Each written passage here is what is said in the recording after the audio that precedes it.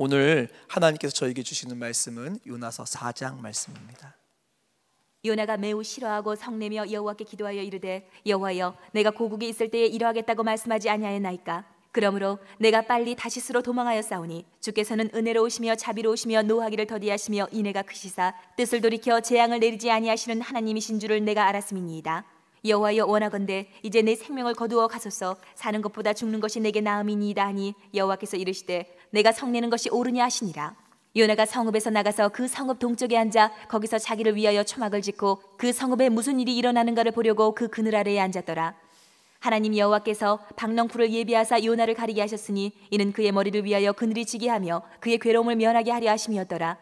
요나가 박넝쿨로 말미암아 크게 기뻐하였더니 하나님이 벌레를 예비하사 이튿날 새벽에 그 박넝쿨을 갈아먹게 하심에 시드니라 해가 뜰 때에 하나님이 뜨거운 동풍을 예비하셨고 해는 요나의 머리에 쪼임에 요나가 혼미하여 스스로 죽기를 구하여 이르되 사는 것보다 죽는 것이 내게 나으니이다 하니라 하나님이 요나에게 이르시되 내가 이 박넝쿨로 말미암아 성내는 것이 어찌 옳으냐 하시니 그가 대답하되 내가 성내어 죽기까지 할지라도 옳으니이다 아니라. 여호와께서 이르시되 내가 수고도 아니하였고 재배도 아니하였고 하룻밤에 났다가 하룻밤에 말라버린 이 박넝쿨을 아꼈거든. 하물며 이 큰 성읍 니누웨에는 좌우를 분별하지 못하는 자가 12만여 명이요. 가축도 많이 있나니 내가 어찌 아끼지 아니하겠느냐 하시니라.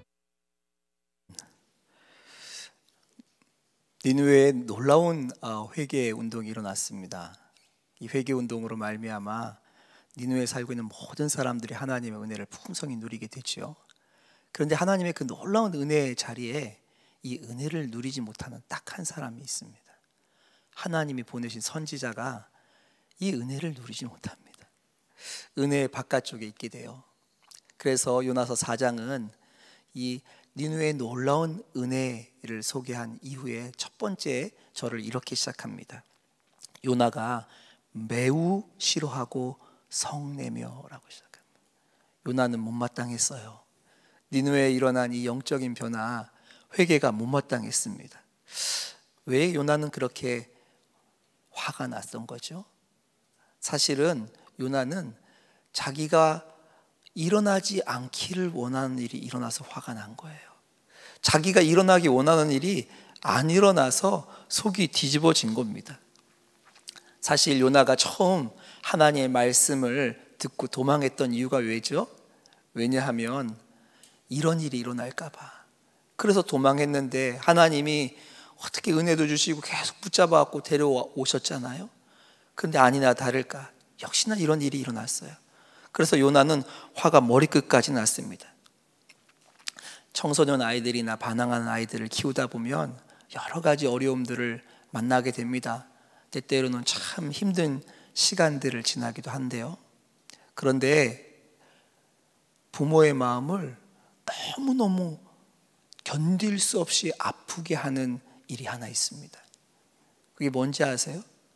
아이들이 이렇게 말할 때예요. 나 안 살 거야. 나 죽어버릴 거라고. 이런 말을 듣거나 아니면 이런 행동을 보게 될 때 부모는요, 마음에 칼을 맞은 것 같은 그런 마음을 느끼게 되지요. 사실은 별로 죽고 싶지 않은데 그런 말 하는 거예요. 자기가 원하는 일 안 들어주니까 그 안 들어주는 그 일 때문에 죽어버리고 싶다라고 말한 거죠. 그런데 이 요나의 모습에서 이 사춘기 반항하는 철없는 아이의 모습이 보여지고 있어요. 내 마음대로 되지 않으니까 내가 원하는 그것이 허락되지 않으니까 나 더 이상 살 필요가 없어. 살기 싫어. 차라리 죽는 게 나아. 이것이 요나가 하는 고백입니다. 3절에 이렇게 고백합니다. 원하건대 이제 내 생명을 거두어 가소서 사는 것보다 죽는 것이 내게 나음이니다. 뭐라고 말해요? 차라리 죽는 게 나아요. 나 죽을 거예요. 이렇게 말하는 거죠. 하나님이 참 좋으신 분이에요. 이렇게 철없이 말하는 요나가 있고 제가 하나님이었으면 저는 그냥 가만히 안 있습니다. 데려다 가지고 혼쭐을 내 주겠죠. 하나님 너무 좋으신 분이에요. 이 순간에도 하나님 너그럽게 부드럽게 요나를 타이르십니다. 4절입니다. 내가 성내는 것이 옳으냐? 조금 바꿔서 말하면 어떻게 말한 거예요? 너 왜 화나니? 얼마나 부드럽게 말씀하는지 몰라요. 이렇게 부드럽게 말씀하시는 하나님 앞에 요나는 마치 사춘기 아이들이 자기 뜻대로 안 되고 성질에 못 이기면 자기 방으로 들어가면서 문을 꽉 닫아버리고 어? 말을 끊어버리는 것처럼 하나님이 이렇게 물으시는 대, 질문 앞에 대화하지 않고 나가버립니다. 어디로 나가죠? 꼴 보기 싫은 니누의 성 바깥쪽으로 나가는 거예요. 그래서 니누에가 다 들여다 보이는 곳에 초막 하나를 짓습니다. 그리고 거기서 머물러요. 꼴 보기 싫어서 나갔는데 니누를 완전히 떠나는 것도 아니에요. 거기서 니누에 어떻게 되나 보자 하고 이렇게 지켜보는 모습이 문을 쾅 닫고 들어갔는데 밖에서 무슨 얘기하는지 귀를 이렇게 기울이고 있는 사춘기 소년의 모습 같지 않습니까? 이런 미숙하고 위험한 모습을 하고 있는 요나를요, 하나님은 그대로 내버려 두실 수가 없으셨어요. 그래서 하나님께서 요나를 위해서 일하시기 시작합니다. 미성숙하고 철없는 요나를 자라게 하시기 위해서 하나님의 예비하신 것들을 계속해서 보내십니다. 그 첫 번째가 뭐죠? 여러분이 잘 알고 있는 한 식물을 보내요. 박넝쿨이라고 우리나라 성경에는 번역된 식물을 보내십니다. 6절입니다. 하나님 여호와께서 박넝쿨을 예비하사. 이 박넝쿨은요. 중동의 뜨거운 태양 햇빛을 로부터 요나를 보호해 줄 만큼 아마 커다란 잎사귀나 무언가가 있었던 것 같아요. 하루아침에 쑥쑥쑥 자라서 요나의 머리에 내려쬐는 땡볕을 막아주는 굉장히 어, 요나에게 위로가 되는 역할을 합니다. 요나의 입장에서는요, 되는 게 아무것도 없어. 어, 세상이 왜 이런 거야? 하고 짜증이 가득 나 있는데, 어느 날 아침에 갑자기 쑥쑥 자란 한 식물이 자기의 짜증난 그 마음을 그늘로 가려주니 얼마나 마음이 좋았겠어요? 그 요나의 마음에 이런 거죠. 야, 너라도 없으면 어떡할 뻔했냐. 야, 내가 너 때문에 진짜 마음이 괜찮다, 진짜. 안 그러면 정말 죽어버리려 그랬거든? 근데 너라도 있으니까 내가 좀 참는다. 이런 마음이 들었던 거죠. 요나와 박농쿨이 사랑에 빠진 거예요. 하나님 거기서 멈추지 않으세요. 하나님이 또 예비하신 걸 보내세요. 벌레를 보내시죠. 새벽에요. 요나가 잠자고 모를 때 이 벌레가 그 박농쿨을 갉아먹습니다. 그래서 박농쿨이 죽었어요. 그리고 거기서 끝나지 않고 해가 뜨자마자 하나님이 동풍을 예비하시는데 이건 뜨거운 바람을 데리고 오는 동풍이에요. 그래서 해가 뜨니 이제 태양볕이 내려쬐고 그 태양볕에 지금까지 자기의 그 몸을 가려줬던 박농클은 죽어버렸고 이러니 그 태양볕 아래서 오기를 부리면서 어떻게 되나 보자. 나 안 나갈 거야 방에서 이러고 있는 사춘기처럼 버티다 보니까 그 태양볕에 뭐 정신이 왔다 갔다 혼미해지는 거예요. 큰 고통을 당했죠. 그나마 되는 것이 아무것도 없다고 생각하고 있는 때에 유일한 마음의 위안거리였던 그 기쁨이 되었던 박농쿨까지 죽고 나니 요나가 뚜껑이 열립니다. 그래서 다시 한번 하나님 앞에 핏대를 세우면서 또 말을 해요. 8절 말씀입니다. 사는 것보다 죽는 것이 내게 나은, 나으니이다. 뭐라고 말하는 거예요? 차라리 죽여요. 죽이라고요. 왜 나를 이렇게 하는 거예요? 막 이렇게 막 소리를 지르고 있는 거죠. 요나가 두 번이나 죽는 게 낫다. 이렇게 소리치며 감히 하나님 앞에 화를 내고 있는 장면이 요나서 4장에 등장해요. 요나는 사실 뭘 말하고 있는 거죠? 나한테 그거 없으면 더 이상 살고 싶지 않아요. 나 그거 없으면 못 살아요. 나 그거 없으면 뭐 안 살고 싶다고. 들었어요? 못 들었어요? 나 그거 없으면 안 돼요. 사실 요나에게 하나님보다 자신의 삶에 더 귀하고 기쁨이 되고 이유가 되는 게 있다고 말하고 있는 거예요. 요나는 지금 하나님 대신에 자신의 삶의 기쁨이 되는 그 그것을 잃어버렸기 때문에 이토록 화를 내고 있는 것이죠. 요나는 지금 사실은 뭘 얘기하고 있어요? 하나님 계셔도 그거 없으면 나 죽고 싶어. 하나님 계셔도 그거 안 이루어지면 아무 소용 없는 거야. 하나님 계시면 뭐해? 그것도 안 들어주시는데. 지금 이 얘기를 하고 있는 거죠. 근데 이 이야기가 우리 철없는 아이들의 모습으로만 보이시나요? 이 이야기를 읽는데요. 이게 제 모습인 거예요. 이게 요나의 실제입니다. 여러분 혹시 간절히 기도하는 거, 하나님 앞에 소원으로 바라고 아뢰는 거, 그 기도의 제목들이 응답되지 않았을 때 어떻게 반응하고 계신가요? 하나님 앞에 그렇게 소원하는 것이 하나님으로부터 거절되었을 때 그때의 그 반응을 보면 우리가 정말로 사랑하는 것이 무엇인지 우리 마음의 기쁨과 우리 마음의 삶의 이유가 되는 것이 무엇인지를 진짜 만나게 돼요. 우리 삶의 이유가 하나님이 아니라 다른 어떤 것이라면 그것을 성경은 우상이라고 말합니다. 사실 요나는요, 우상에 묶여 있었던 거죠. 철이 없는 거예요. 하나님 있으면 뭐해요? 이것도 안 들어주면서 이 얘기를 하고 있는 요나의 철없음을 회초리로 다스리는 게 아니라 하나님께서는 또다시 대화로 찾아가셔서 말씀하십니다. 왜요? 철없는 요나를 내버려 두실 수가 없기 때문에 그래요. 철없는 요나가 자라기를 원하고 계시기 때문에 그렇습니다. 그래서 박농쿨의 죽음에 분노하고 죽여달라고 소리를 치고 있는 요나를 찾아가서 다시 부드러운 대화를 시작하세요. 9절에 하나님이 또 질문하세요. 내가 이 박농쿨로 말미암아 성내는 것이 옳으냐?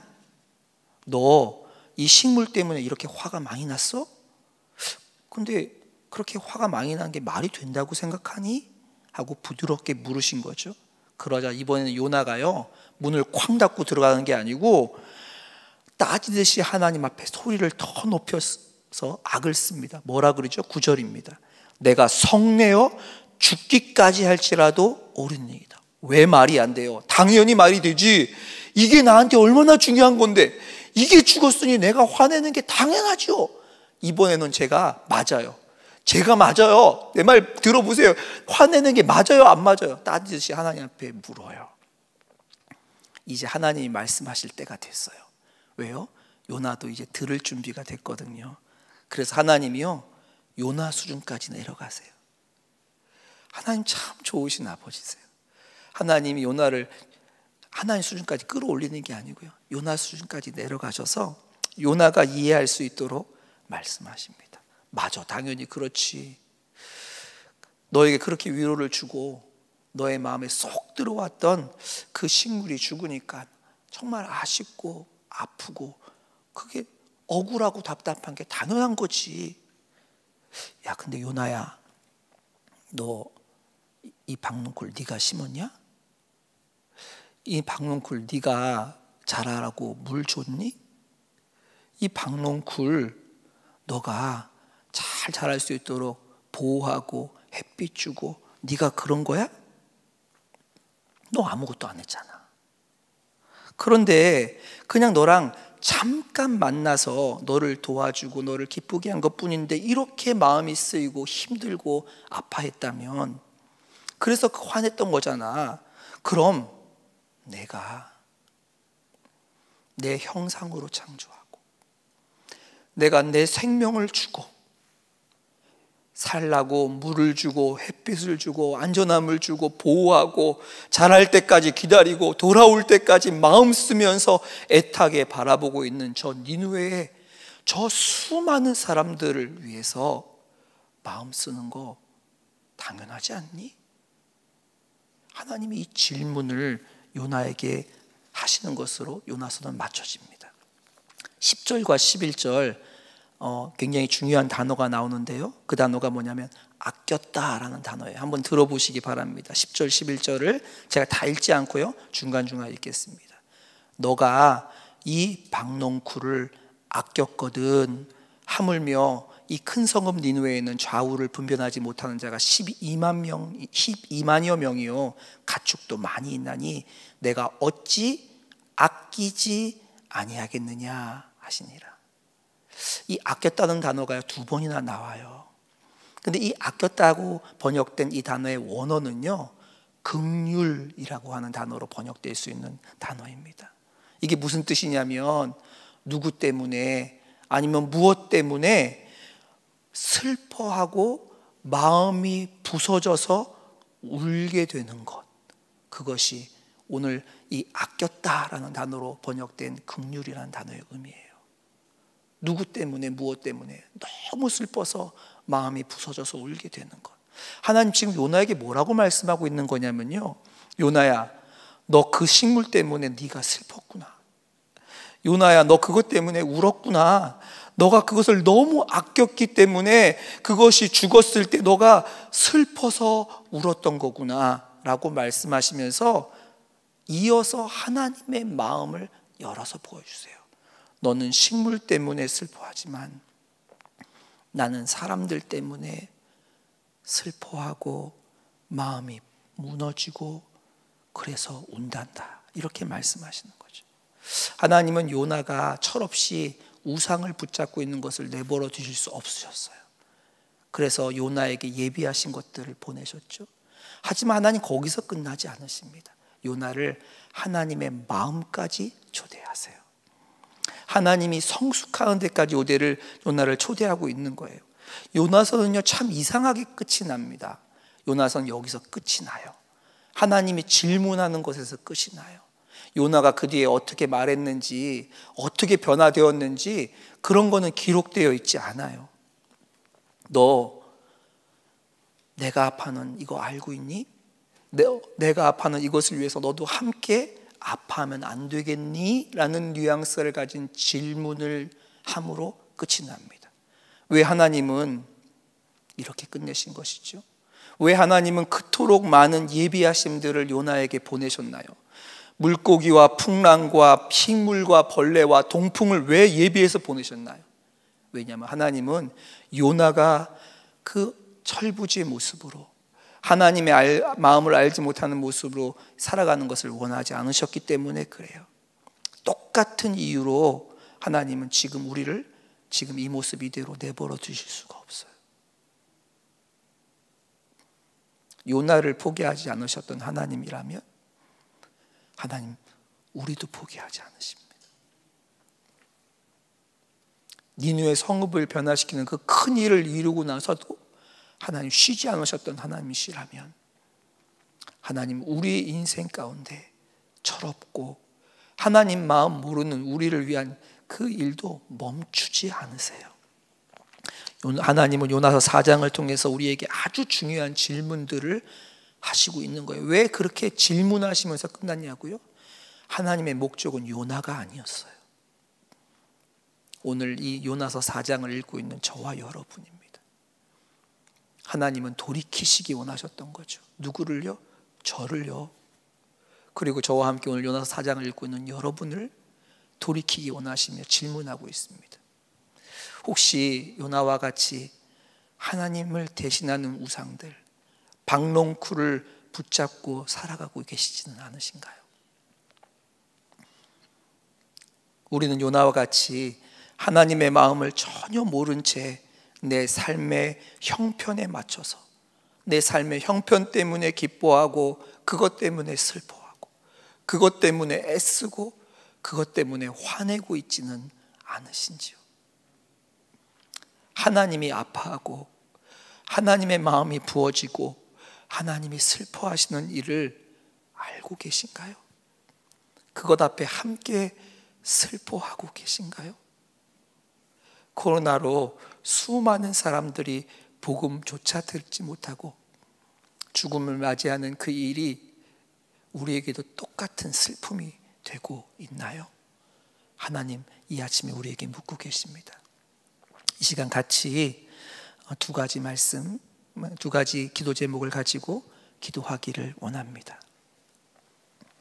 하나님 오늘 마지막 날 우리를 돌이키기 원하세요. 요나의 길을 돌이키시고 마음을 돌이키시고 니누에를 돌이키셨던 하나님이 오늘은 우리를 돌이키기 원하십니다. 첫 번째 기도 제목입니다.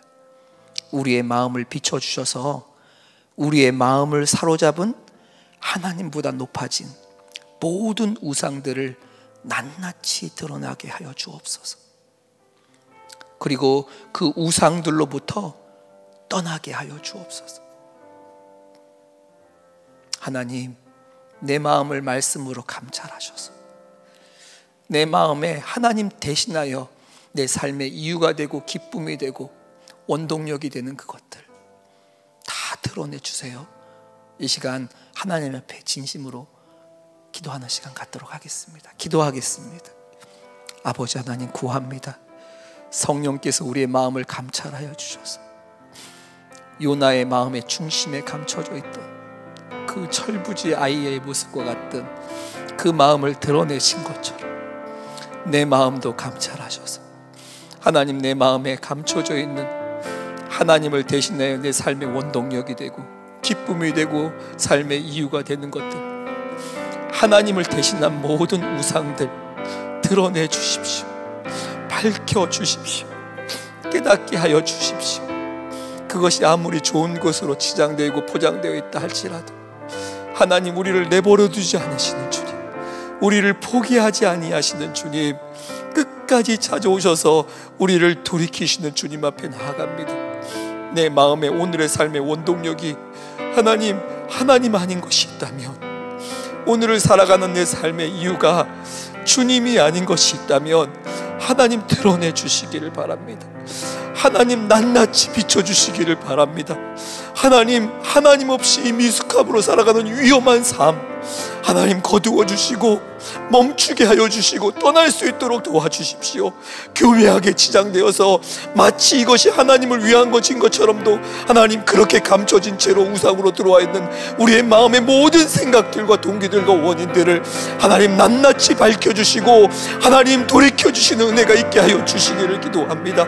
하나님 요나를 찾아가셨던 것처럼 요나를 위해서 예비하신 것으로 그의 마음을 비추셨던 것처럼 하나님 내 마음도 비춰주 셔서 하나님 기뻐하시는 하나님 원하지 않으시는 것들 모두 모두 제하시고 하나님 기뻐하시는 삶으로 돌이켜 주시기를 기도합니다. 한 가지 더 기도하시고 개인 기도하심으로 하나님 앞에 깊은 기도의 시간 가지시기 바랍니다. 두 번째 기도 제목입니다. 주님 한 분만으로 충분하다는 고백을 전심으로 드릴 수 있는 데까지 하나님 우리를 돌이켜 주옵소서. 주님께서 아파하시는 것을 함께 아파하고 주님께서 기뻐하시는 것을 함께 기뻐하는 데까지 자라날 수 있도록 변화시켜 주옵소서. 이 아침에 하나님 말씀으로 하나님 나를 하나님의 마음으로 돌려주세요. 하나님의 마음의 중심까지 데려가 주세요. 이 시간 주님의 이름 한번 부르시고 통성으로 기도하시다가 돌아가시면 되겠습니다. 주여 아버지 하나님 아버지 하나님 변화시켜 주소서. 하나님의 마음까지 변화시켜 주소서. 하나님이 원하시는 데까지 변화시켜 주소서